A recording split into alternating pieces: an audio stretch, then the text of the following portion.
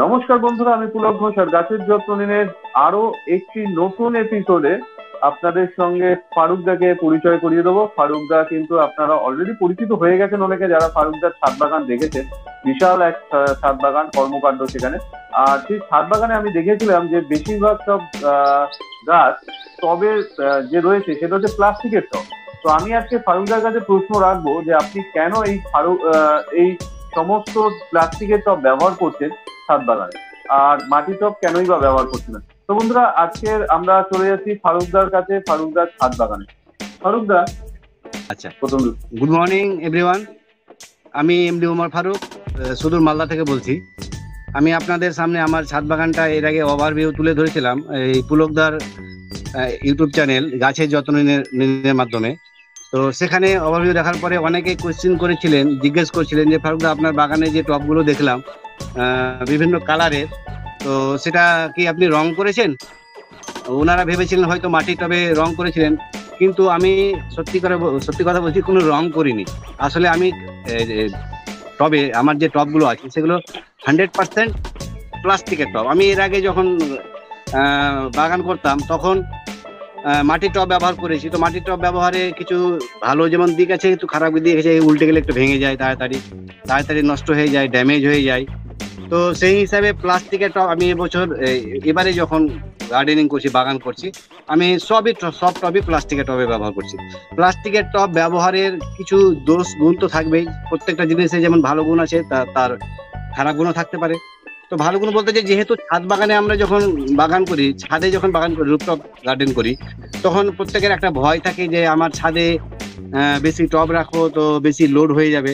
তো সেই লোডটাকে অ্যাভয়েড করার জন্য আমি বিশেষ করে এই একটা কারণ হতে পারে যে যে লোডটাকে অ্যাভয়েড করার জন্য আমি প্লাস্টিকের টব ব্যবহার করি। আপনারা যারা বাগান করেন, তারা একটু লক্ষ্য করে দেখবেন বা আমি যেটা বলছি সেটা মিলিয়ে দেখবেন যে একটা প্লাস্টিকের টব নেবেন, একটা দশ ইঞ্চি, একটা দশ ইঞ্চি আপনি মাটির টব নেবেন। সেটাকে ওয়েট করবেন। ডিফারেন্স হবে ওয়েটে দশ গুণ। কারণ একটা মাটির টব যদি দু কেজি ওজন হয় প্লাস্টিকের টব মাত্র দুশো গ্রাম ওজন হবে। এই যে ওয়েটের। তারতম্য সেটা ছাদের রুপটপ মানে বাগানে রুপটপ গার্ডেনের ক্ষেত্রে সেটা খুব মানে ভালো একটা দিক যে ছাদের লোডটা কম হবে। এবং প্লাস্টিকের টব এবং মাটির টবের মধ্যে প্লাস্টিকের টবটা তাড়াতাড়ি নষ্ট হয় না। মাটির টব অনেক সময় বেশি তাড়াতাড়ি নষ্ট হয়ে ড্যামেজ হয়ে যায়। প্লাস্টিকের টবও অনেক সময় ড্যামেজ হয় একটু ভালো কোয়ালিটি নিতে গেলে অনেক দিন চলে যায়। এবং প্লাস্টিকের টবে একটা জিনিস যেটা আমি দেখেছি যেটা অসুবিধা যে প্লাস্টিকের টবে জলটা তাড়াতাড়ি মানে শুকিয়ে যায় না চুষে শুষে নিতে পারে না। কিন্তু যেটা মাটির টবে টল দিলে আপনি আমি আমি এর আগে পরীক্ষাও করেছি যে দুটো পাশাপাশি টব রেখে যে একটা মাটির টব একটা প্লাস্টিকের টব দুটো দিয়ে আজকে জল জল দিলাম। কালকে চব্বিশ ঘণ্টা পরে যখন দেখি প্লাস্টিকের জলের মাটিটা ভেজেই আছে শুকো- শুকো- শুকিয়ে যায়নি কিন্তু মাটির টব টবে জলটা শুকিয়ে গেছে। কারণ মাটির টলে মাটির টবে সূক্ষ্মাণু সূক্ষ্ম কিছু ছিদ্র থাকে সেটা দিয়ে কিন্তু গাছেরা অক্সিজেন নিতে শিকড়ে তা- বেশি সহজ সাহায্য হয়। সেটা একটা প্লাস পয়েন্ট আছে। অবশ্যই কিছু প্লাস পয়েন্ট আছে। আর মাটির টবে ধরেন এই যে অক্সিজেন নেওয়ার ক্ষমতাটা সেটা যেমন থাকে মাটির টবে ফুটোগুলো কম থাকে। মাটির টবে দেখবেন একটা দুটো ম্যাক্সিমাম তিনটে ফুটো থাকে নিচে যেটা ড্রেনেজ হোল তৈরি করার জন্য আমরা কাজে ব্যবহার করি। কিন্তু প্লাস্টিকের টবে আমার ম্যাক্সিমাম পাঁচটা সাতটা করে ইয়ে থাকে। আমি প্লাস্টিকের টব যেগুলো ব্যবহার করি তো যেটা একটা বললাম যে ওয়েট লেসের কারণে আর একটা কারণ মানে আর একটা কথা বলি যে ওয়েট লেস যদি আমরা ছাদে করতে যাই কম যদি ওজন দিতে যাই তাহলে আমরা মাটিটা তৈরি করতে হবে। সেরকম ভাবে যেন ওয়েটটা কম হয়। তো আমি যেভাবে মাটি তৈরি করি তাতে আমার টবের ওয়েটটা খুব কম হয়। কারণ আমি মাটি কম ব্যবহার করি জৈব সার এবং কোকোপিট ব্যবহার করি। অনেক সময় অনেক সময় পাতা পচা সার ব্যবহার করি কোকোপিট করি হ্যাঁ। ধানের তুষ ব্যবহার করি। তো সেই কারণে হ্যাঁ। আমার মাটির টবগুলো হালকা হয়। ছাদটা হালকা রাখার জন্য এটা করি। তো এবারে আমি যেটা বলছিলাম যে মাটির টব আর ইয়ে কি বলে প্লাস্টিকের টব সম্পর্কে আপনি আপনাদের আরও যদি কোনো কোশ্চেন থাকে হ্যাঁ এবার অনেক সময় হয় কি আমরা যে রুফটপ গার্ডেনে যখন আমি একটু ঘুরিয়ে দেখাই যে যখন আমরা ইয়ে টবগুলো ব্যবহার করি মাটির। টবগুলো ব্যবহার করি বা কি বলে যে প্লাস্টিকের টব ব্যবহার করি। অনেক সময় ঝড় বৃষ্টির সময় ঝড় বৃষ্টির সময় এই টবগুলো অনেক সময় পড়ে যেতে পারে। তো আমরা সেটা তো যারা গার্ডেন করি বাগান করি সেটা তো অবশ্যই আমরা সেদিকটা লক্ষ্য রাখি অবশ্যই অবশ্যই লক্ষ্য রাখি। তো তার ক্ষেত্রেও অনেক সময় হয় যে মিস্টেক হয়ে যেতে পারে। যেমন আমি এই আমফান গেল বা বিভিন্ন ঝড় গেল ঝড়ে আমার অনেক গাছেরও অনেক ক্ষতি হয়ে গেছে। মানে এত সতর্কতা থাকা সত্ত্বেও ক্ষতি হয়েছে। তারপরেও আমি করেছি কি অনেক সময় হয় কি এই যে টবগুলো আছে বেশি যদি ঝড় হয় আমার এই রেলিং দেওয়া আছে এই সাইডে রেলিং দেওয়া আছে এই সাইডেও রেলিং দেওয়া আছে যেন টপটা বাইরে না পড়ে যায়। অনেক সময় হয় কি যাদের রেলিং থাকে না যদি এই টপটা যদি নিচে পড়ে যায় তো নিচে পড়ে গেলে হ্যাঁ। কারও বাই চান্স কারও মাথাও পড়তে পারে আর মাথাতে পড়লে কিন্তু একটা বড় দুর্ঘটনা ঘটা ঘটে যাওয়ার সম্ভাবনা থেকে যায়।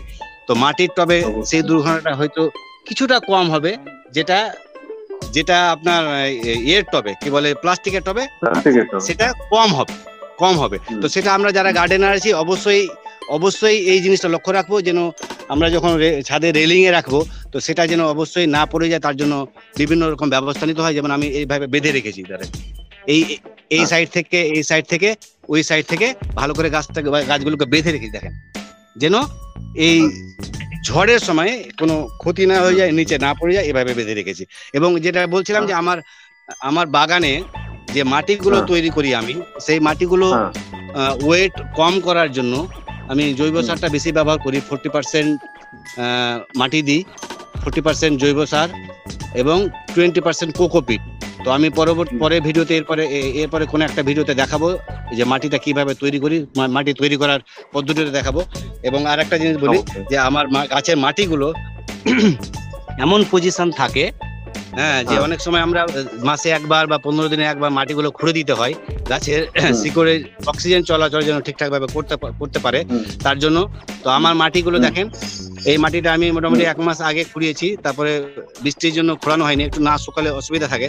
তো আমি আমরা কি করি বিভিন্ন বিভিন্ন টুলস দিয়ে এই মাটিগুলো খোঁড়ার চেষ্টা করি। কিন্তু আমার মাটি আমি টুলস দিয়েও খুঁড়তে পারি এবং আমি যদি ইচ্ছা করি হাতেও করতে পারব। আমার মাটির পজিশনগুলো এমন থাকে দেখ আমি হাত দিয়ে করছি এই নর্মালি হয়ে যাচ্ছে। আচ্ছা।